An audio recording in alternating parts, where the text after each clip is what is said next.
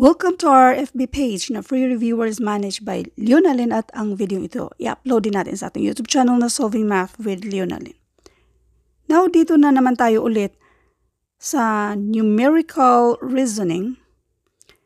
At itong numerical reasoning na to, nasa number 15 at 16 na tayo. At ito daw ay actual na lumabas sa civil service exam dati. Ang makakonfirm lang naman nito ay yung mga dating nag-take na ng civil service exam. At ito ay sinisend sa isa sa ating mga followers. So bali pinipm niya ito sa ating FB page at hindi ko i-reveal kung sinong nag-send sa atin nito. Now, sabihin na nating actual nga itong lumabas dati sa civil service exam. Pero gawin nyo lang itong guide. Never memorize the answers because that will never help you. Kundi yung paraan kung paano natin ito sinagutan. Sa lahat ng mga previous na videos natin, marami na rin tayong kahalintulad nito. Kaya alamin lang kung paano ito sagutan at paniguradong marami pang kahalintulad nito sa darating na exam. Number 15. Maria's office is 1.5 kilometers away from his, uh, dapat from her, from her house. I-illustrate na natin para hindi tayo maubusan na oras sa actual na exam, oras ang kalaban nyo. So, isulat na natin para mas klaro lang sa inyo. Let's consider this as our solution number one, na yan yung house at going to the office, yan ay 1.5 kilometers. She leaves her house at 8.30 8.30 a.m. and walks at constant speed, reaching her office at 9 a.m. 9 a.m. Therefore, 30 minutes lang yan siya.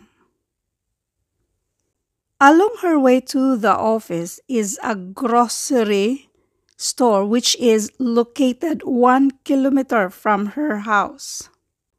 Ang tanong, how many minutes would Maria spend walking from her house to the grocery store?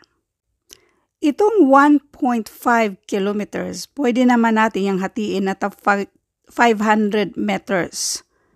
So, meron tayong tatlong 500 meters going sa mismong office niya. Itong dalawang 500 that is equal to 1 kilometer. Since naghati tayo ng tag 500 dyan, itong 30 minutes hatiin din natin. So we have 10 minutes, tag 10 minutes kada 500 meters. Meron tayong dalawang 10 minutes dito. So 10 plus 10 and this is 20 minutes. Yan na yung sagot. 20 minutes. Now, kung hindi nyo yan naintindihan, let's do solution number 2. Sa loob ng 1.5 kilometers, meron tayong 30 minutes. Itong 9 a.m. minus 9.30 a.m. That is equal to 30 minutes. So, gawin natin yung ratio. Minutes over kilometers. 30 minutes over 1.5 kilometers. Ang tanong, ilang minuto ba let M para sa minutes going to the grocery? Sa grocery, from her house going to the grocery ay 1 kilometer. Now, para makuha natin yung value ni M, since 1 lang din naman yan, kung mag-cross multiply tayo, ganun pa rin. 30 over 1.5. Now, i-divide na lang natin yan direkta. 30 divided by 1.5 at para mas madali, i-move natin itong decimal ones to the right side. Kung nag-move tayo ng ones, mag-add tayo ng isang zero sa taas. So this is 300 divided by 15 at kopyahin yung m na nasa kabila. Para hindi kayo mahirapan sa pag-divide ng 300 divided by 15, so ganito lang yan. 30 divided by 15 equals 2 at kopyahin yung isang 0 dyan. So therefore, ang sagot dito ay 20 minutes. Otherwise, i-divide lang natin itong 30 divided by 1.5. Pareho lang, pinakita ko lang sa inyo. Itong decimal, lahat ng mga divisor dapat whole number, kaya i-move natin yan once to the right side. Kung nag-move tayo ng once to the right side, ganun din ang gagawin natin sa loob. Once to the right side at yung space, lagyan ng 0. And then, i-align yung decimal sa taas. 30 divided by 15, and this is 2, 2 times 15, 30.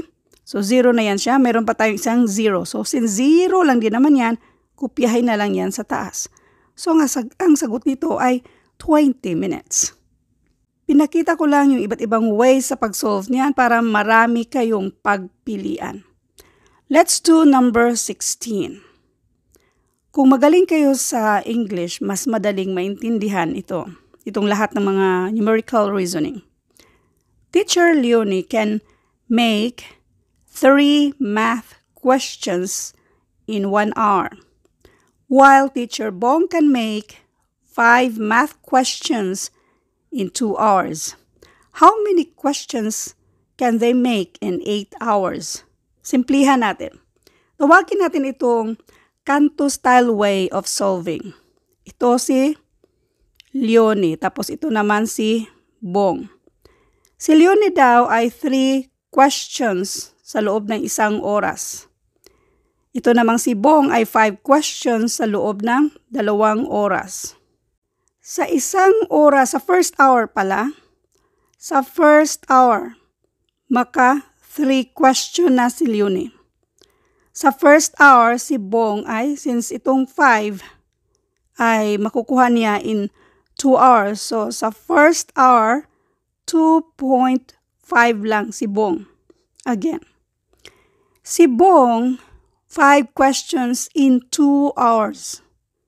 So, therefore, kada oras ni Bong ay 2.5 questions kada oras. So, after 2 hours, isa pang 2.5 kaya 5 questions in 2 hours.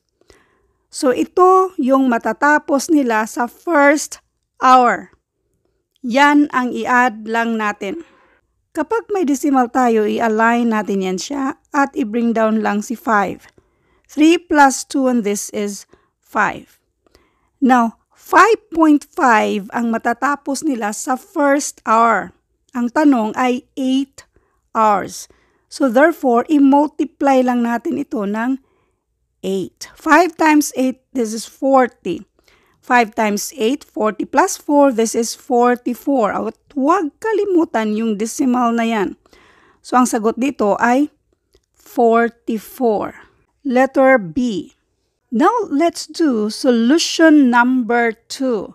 So, dito tayo sa my formula. Ito si Ma'am Leonie, si Teacher Leonie at si Teacher Bong yung rate equals distance over time. Pero yung distance natin yan yung number of work niya, which is 3 math questions over 1 hour. So, si Leonie, yung speed niya ay 3 math questions over 1 hour. Ito namang si Teacher Bong ay 5 math question in 2 hours.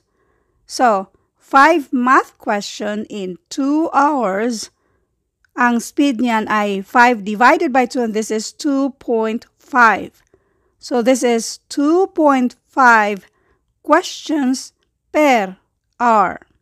So i-add lang natin itong 3 at 2.5. Therefore, this is 5.5 questions per hour. At ito ay i-multiply natin sa 8 hours kasi ang question ay how many questions can they make in 8 hours. Per oras ito, kada oras 5.5. So i-multiply natin ng 8 hours. So pwede na natin i-cancel yung hours na yan, number of questions na ang sagot dito. 5.5 times 8 at nasagot na natin yan kanina which is equal to 44. 44 questions ang, ang magawa nila within 8 hours.